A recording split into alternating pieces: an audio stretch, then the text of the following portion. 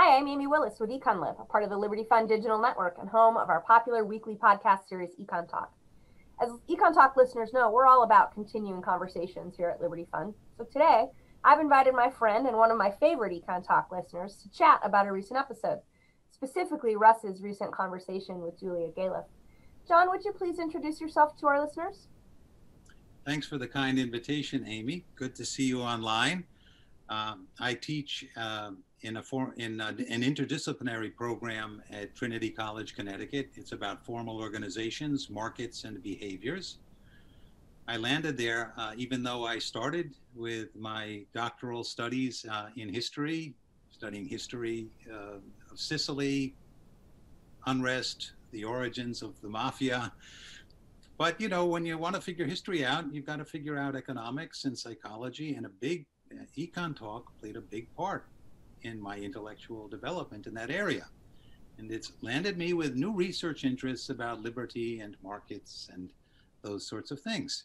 So um, thank you for for all of that, uh, and I'm delighted that you've invited me to discuss uh, Julia Galef's podcast. Awesome, thanks, John. Well, I'll just jump right in with a question for you.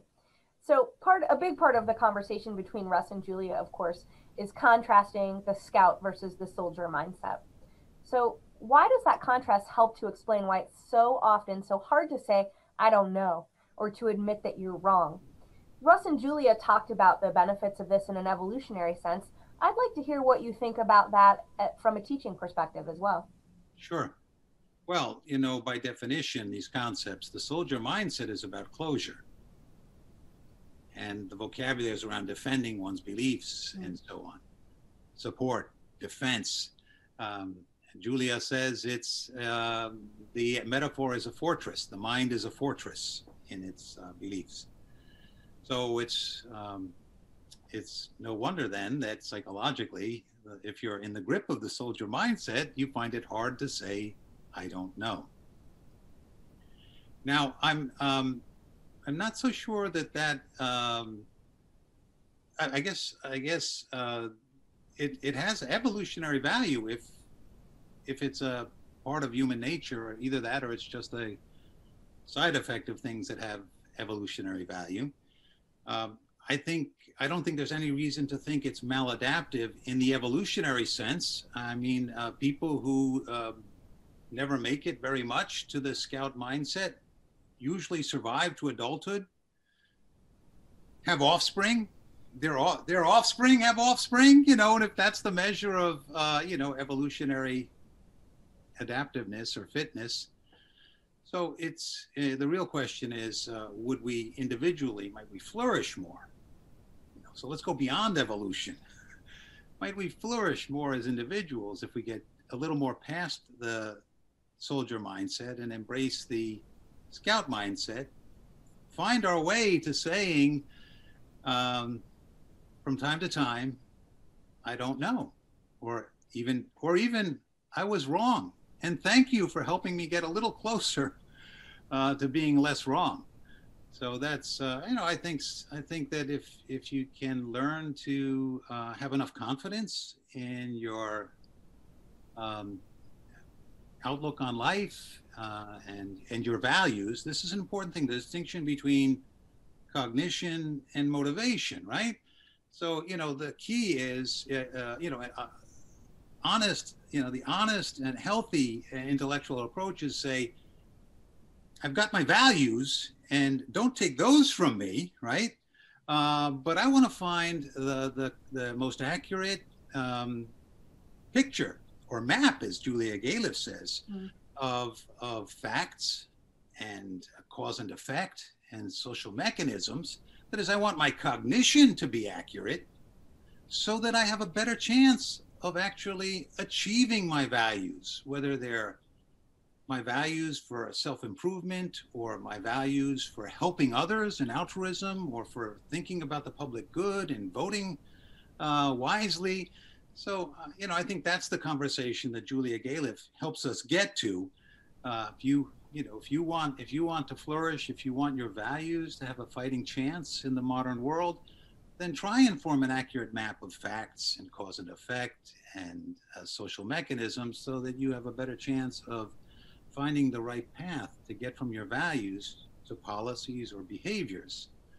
Right, so an important distinction that that that that I would um, emphasize uh, from from the from the econ talk conversation is the distinction between beliefs and motivations, cognition, and and uh, goals or values, and you're gonna you're much more likely to to find to, to be able to achieve your goals, your most your noblest goals, not just your self-interested goals, if you form an accurate map of the world around you. And that means, you know, giving others the same fair chance in that regard.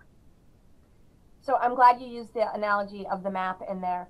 Uh, because, and one of the reasons that I'm thinking about teaching is this notion of the map and the role that facts play in laying out your map, laying out your plan, whether it's to get to the grocery store in the most timely manner or whether to get to your noblest virtues, as you said.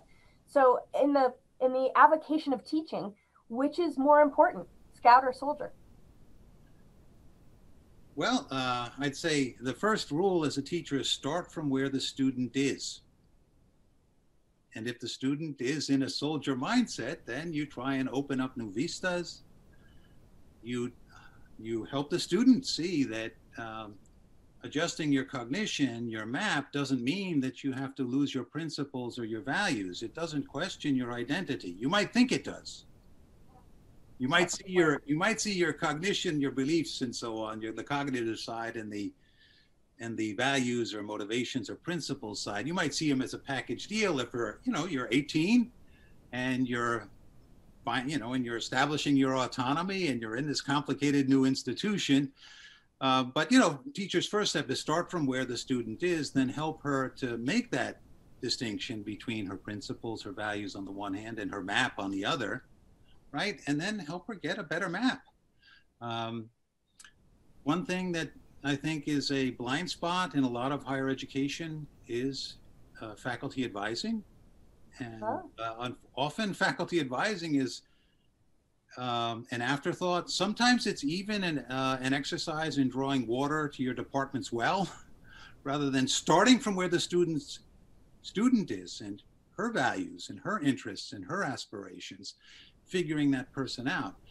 So um, I guess um, you know, uh, higher education could stand to do better, or at least more systematically, in, in um, helping students to find a scout mindset and still be true to themselves.